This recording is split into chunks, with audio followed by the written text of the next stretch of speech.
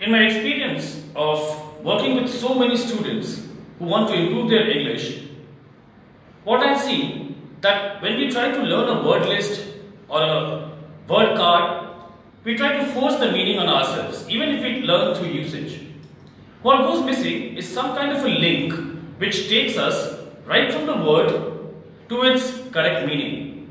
Now, when you try to learn words, the initial 500,000, 1,000, 2,000 words, you need to use a linking technique to make sure that the new words become a part of your vocabulary. And then after maybe a course of 6 months or a year, these words with usage become your own. Alright? So let me explain. Now, as a student, uh, when I used to learn word list, I tried to, uh, let, let, me give an example. Uh, word abhor, A-B-H-O-R. So what is the meaning of the word abhor? Abhor means to detest, to loathe, to hate, right? Now, how do I learn abhor? I say abhor, detest, abhor, detest, abhor, detest, abhor, detest. I, I write it down multiple number of times. I speak it a lot, lot many times ताकि वो word मेरे mind में बैठ जाए. Right? The word settles in my mind. But what happens when I try to remember that word, let's say a month from now, what happens is when I get the word abhor and I think, okay, what was abhor? Now since I've learned all the words without any logic, all of a sudden nothing clicks. And you go blank and you're like, shit, shit, shit, shit, shit. Abhor was what? What was abhor? You don't get the meaning because there was no logic from the word to the meaning. Now this is the gap which should be bridged. The method I am going to tell you is called the linking technique. Alright? Have a look at this first word. Extirpate. Right? Now, when this word comes, let, let's assume that you don't know the meaning of these words. The word extirpate comes, you look at the meaning, it means to get rid of unnecessary things. I'm repeating, extirpate means to get rid of unnecessary things. Alright? Now, this is a word, there is a meaning. Think of something which connects, takes you from the word to that link and that link automatically drives you to the meaning. So, extirpate I think it sounds to me like extirpate. Now, let me explain. Just a minute. Now, if I say it is extra and the Hindi word pate. Now, this might be different for someone else. For me, it sounds to me like extirpate. So, what do I do when I have an extirpate? I get rid of it because it's unnecessary. अब जब whenever you tell me what's the meaning of the word extirpate, I would think of extirpate hata which means get rid of unnecessary things. Right? This is the linking technique I am talking about. Now when in the exam hall you are thinking of what word extirpate, first thing that will get connected is extirpate.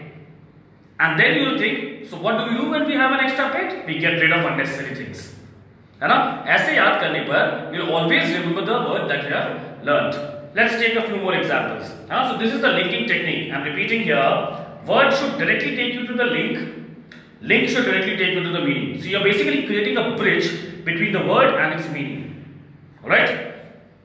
Connoisseur. Now I'm giving you examples, the best links which my students over years have created. Yeah, they, they are very funny and good ones. And they're whimsical also. It's on you. तुम्हारा मन तुमको क्या word relate हो रहा है है ना connoisseur so the meaning of connoisseur is an expert at something, right? He is the connoisseur of good food. Means he is an expert, a good judge in food. So when I give this meaning, a guy said, to him it comes as concern. Which expert are you talking about? Concern. He's an expert. Right? Expert in food, ex expert in design, expert in drawing, whatever. See, connoisseur becomes concern, concern means an expert. Right? Let's take another example. Covert. Covert, the meaning is secret or hidden. Right? Immediately a student said, Sir, it, the word cover is something which I know. Right? So cover का मतलब क्या होता है? I can interpret as छुपाना, to hide. Right? And now I remember that covert is something which is secret or hidden. This is linking technique. Right? Take another example. Plausible. As I said, uh, when I told the meaning, plausible means something which can be done or can be considered. Something which can be done, right? So immediately someone said, then I'll call it possible. Plausible sounds to me like possible. So it's possible to believe, possible to be done, so it's plausible, right? So the sound here led to another word which led to the meaning, right? Next one, plethora. Plethora of opportunities is the phrase that we use, right? Plethora means excess.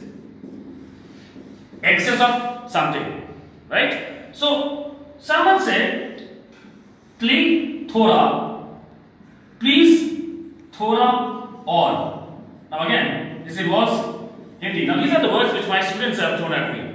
Please थोड़ा और मतलब क्या और ज्यादा excess it doesn't need to be the exact meaning, but the point is, it's connecting the child's brain to the meaning. Plethora is thoda aur, matlab excess, right? Next one, bacchanalian. Bacchanalian means uh, given to extreme drinking. Bacchanalian extravaganza means group of people going mad and drinking a lot, right? This is really good. Uh, this is really funny. Someone said, "Sir, Bachchan Saab Sharabi." How can you ever forget this word now? Just tell me. If I say bacchanalian means getting drunk, getting drunken, and if you have followed Amitabh Bachchan, you know Sharabi, you know the scenes, you know bacchanalian means getting drunk. You will not forget the word. You know? This one is more funny. Know? Amnesty means to pardon.